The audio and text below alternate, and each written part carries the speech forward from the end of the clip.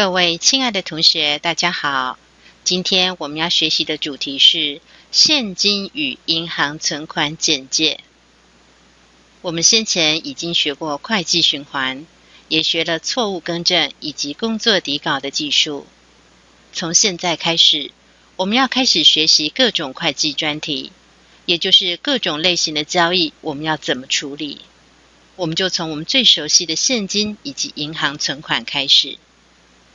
这一集老师要讲的内容是有关现金以及银行存款一些基本的认知，以及有关现金管理和内部控制的问题。因为现金人人都爱，一不小心就会被别人摸走了，我们也没办法在钞票上写名字来证明这些钱是我们的。所以讲到现金，就不能不讲内部控制。再者，因为现金就如同是企业的协议，同学们都知道，人失血过多就会死。那么企业如果周转不灵，就会要了他的命。所以呢，现金管理也是在介绍现金的时候必讲的议题。接着，我们就开始进入主题。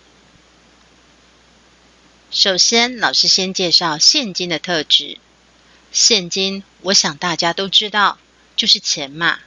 是的，不过会计上的现金不只是钱那么简单，它还有一些特质，要符合这些特质的要求，会计上才能称为现金。第一个呢是货币性，它可以作为支付的工具，也就是我们用它来还债，对方是不能拒绝的。比方说我们使用的新台币，不管是钞票还是硬币。在台湾地区都是作为支付工具用的。第二个是通用性，它要能在本地流通。比方说美金，虽然它也是一种货币，不过它在台湾地区并不能够流通。同学们不要以为饭店不是也收了各国的货币吗？怎么说不能流通呢？同学们想一想，如果美金在台湾地区就可以流通的话，那么这些使用美金的客人就不需要去银行把美金换成新台币，直接用美金付款就好了啊？为什么还要去银行把美金换成新台币呢？就是因为美金在台湾地区不能流通，所以呢，他们才必须要去银行把美金换成新台币。第三个也是最重要的一个，就是它的用途不能受到限制。那么会计上所谓的现金，它不能有任何特定的用途。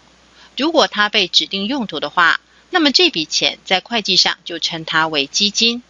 比方说，为了还债而设置的偿债基金，或是以前老师的学生会为了毕业旅行，他们会存一笔毕旅基金。虽然他们的形态都是钱，但它已经有特定的用途了，就不能叫做现金了。简单来说。现金必须是自由的，怎么用都可以。那么有些企业呢，它也会为了某些目的而设有专户，比方说为了发放员工的薪水而设置的薪资专户。那么这种专户，根据上面的定义，照理来说也不应该列为现金。不过因为他们的金额通常不大，或者是呢，它也只是现金规划分配的一种用途而已。就好比说。我们是为了发薪水才把钱领出来，那么在我们还没有发薪水把钱领出来之前，那些钱呢也还是自由的，所以呢，他们还是列在现金的项下。接下来，老师要跟同学们介绍现金的内容。听了前面老师说的，同学们大概知道了，会计上的现金除了外观是钱之外，最重要的特质就是它不可以被指定用途。那么除此之外呢，其实还有一些不在我们眼前的钱，在会计上也可以称作是现金。比方说，我们公司里收银机或是金库里的钱，同学们都知道它叫做现金。那么其实它正确的名称呢，叫做库存现金。那么像是活期存款，虽然不在我们的眼前，可是我们公司要付款，我们用转账，比方说直接用网络转账。或是用 ATM 转账，ATM 就是所谓的自动提款机。我们把钱转到对方的户头里。同学们，你们说我们有没有付钱呢？相信同学们都会说有付钱啊。可是我们没有把银行里的钱领出来，然后付给对方，怎么说有付钱呢？因为同学们也知道，银行里的存款也是我们的钱，所以呢，即使没有钞票的形态在收付，我们也知道银行里的存款也是我们的钱。所以，我们来看现金包括哪些内容呢？在这里。老师要顺便跟同学们说一下，那么在实物上呢，有很多的小企业会把银行存款单独列示出来，有别于库存现金。所以呢，他们的现金科目呢，指的是库存现金。那么银行存款呢，它会另外再设一个科目。这样做可不可以呢？没关系的，这样做也是可以的。我们现在就来看哪一些可以把它当做是现金。第一个是纸钞硬币，这个呢一定没有问题，它是我们的法币，就是我们看到的钱。第二个是支票存款，支票存款是银行存款的一种，只是它领钱的方式，我们一般说动用是透过开支票，它是随时都可以领钱的存款账户，只要我们开支票就可以领。当我们开支票把它领出来，它就变成现金啦。所以我们把它算进是现金的一种形态。第三个是活期存款，它也是银行存款的一种，它随时可以领钱，像是在 ATM 领钱，或是在银行柜台领钱，或是用转账付钱都是可以的。所以呢，它也算是现金的一种。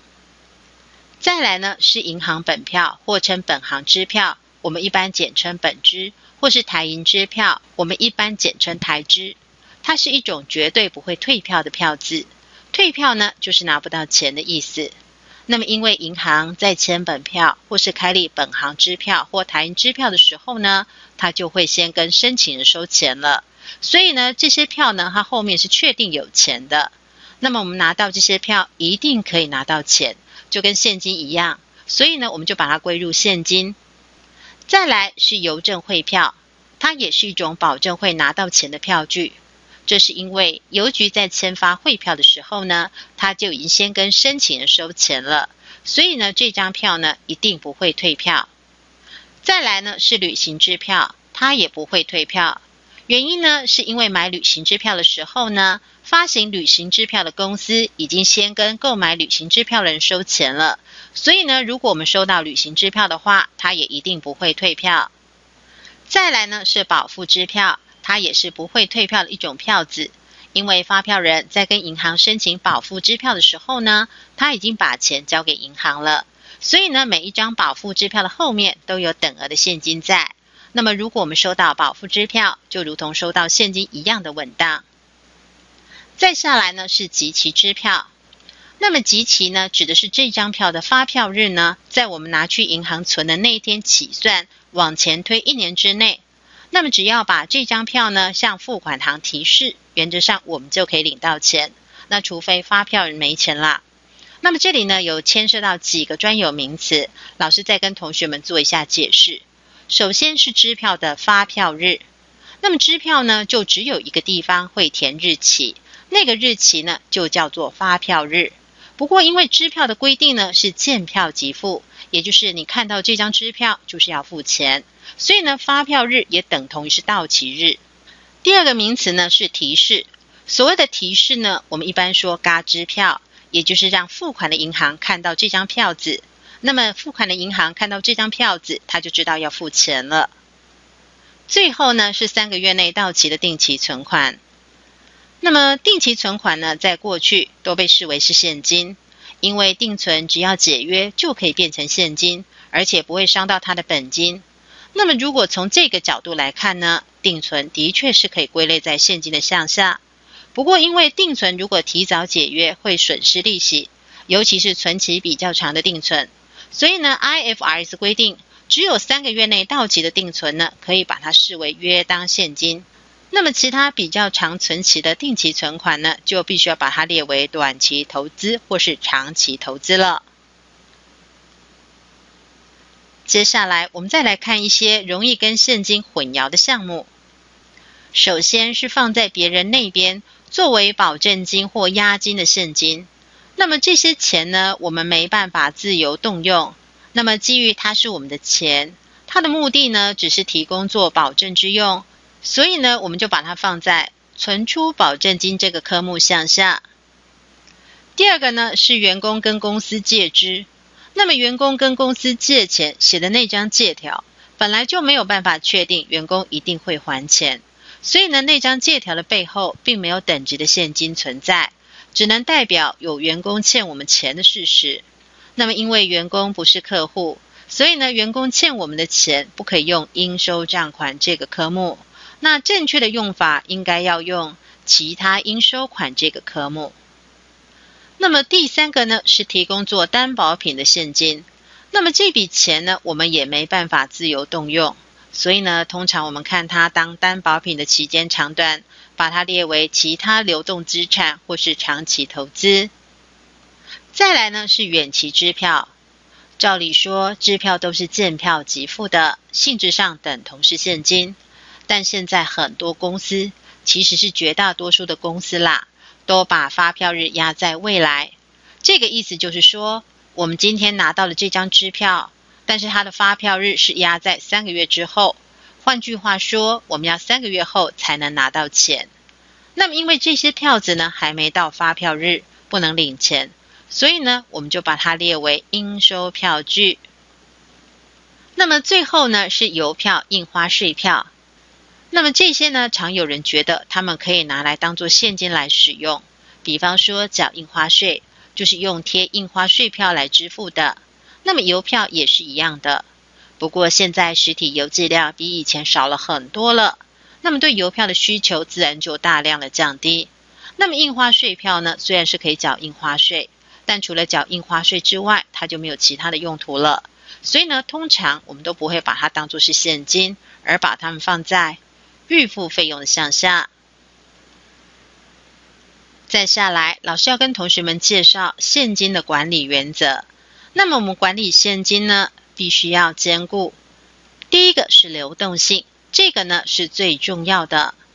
那么，流动性呢是企业存续的第一要件。流动性又称为短期偿债能力，就是说，一年内到期的债务，企业有足够的钱去偿还，不怕没钱还的意思。老师先前一直强调，亏钱的公司还不至于马上就会倒闭，但只要资金周转不灵，有个债权人他拿不到钱了，他就会跟其他的债权人说他没拿到钱，那么其他的债权人呢就会马上冲上来，很可能呢企业就这样倒闭了。所以呢，不管在任何情况之下，流动性都是最重要的，企业绝对不能发生债务到期。却没有钱付的情况。那么，现金管理的第二个要注意的是收益性。现金是流动性最高的资产，因为它本身就是支付的工具，但却是收益性最低的资产，因为持有现金不会产生任何的收益。比方说，我们把钱放在枕头底下，我们放十年也不会生出更多的钱。所以呢，如何在顾及流动性的前提之下，创造现金比较高的收益，也是现金管理很重要的一环。那么，我们一般最常见增加现金收益的做法呢，就是把部分的现金从纯粹的现金转变为约当现金。那么，约当呢，就表示它现在不是现金，只是性质上比较类似现金。就像是我们说的准新娘，就表示她现在不是新娘。准妈妈就表示她现在还不是妈妈，同样的约当现金就表示她现在不是现金，不过经过某个简单的程序呢，它就可以变成现金了。那么所谓的约当现金呢，根据 IFRS 定义，约当现金呢是指可以随时转换成定额现金，而且价值变动风险很小的投资，因此通常只有短期内。一般我们是指从取得日起算三个月内到期的投资才能视为约当现金。那么根据这个定义，三个月内到期的短期票券，像是可转让定存单、银行承兑汇票、商业本票、国库券、定存单等等，都算是约当现金。但是到期日超过三个月的定期存款，就必须依据它的到期日长短，划归为短期投资或是长期投资了。最后，老师要跟同学们讲现金的内部控制。我们刚刚说，现金人人爱，一个不小心就会被人摸走了。可是我们又不能在钱上面写名字，写了也没用啦。那么，为了要保护现金，所以要有一些做法。我们现在就来学这些做法。首先，在现金收入方面，第一个账款到期就要马上去收钱，这样呢可以避免资金的闲置造成浪费。因为如果没有及时把钱收回来，就会失掉运用这笔钱去赚钱的机会而造成的损失了。第二个是随收随记随存，我们把钱收回来之后，当然要先记账，然后呢再送去银行存。不过呢，也因为是这样的操作顺序，所以呢才会发生公司记完账，把钱送去银行存，却超过银行当天的营业时间，银行呢就把这笔钱记在第二天的账上的情况，这个呢就是所谓的未达账。第三个呢是现金收入交易使用收银机，这个呢是因为收银机的开启会记录交易的内容，有助于现金的控管。因为没有现金收付，是不可以开启收银机的。